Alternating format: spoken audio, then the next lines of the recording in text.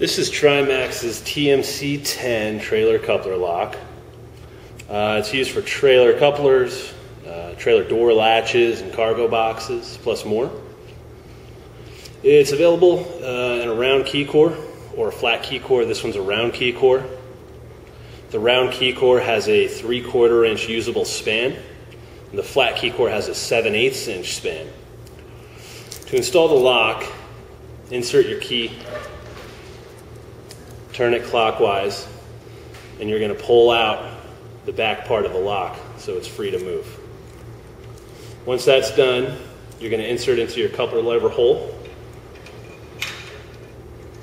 turn the lock back end, and pinch them together, and then you're going to turn the key counterclockwise to lock it.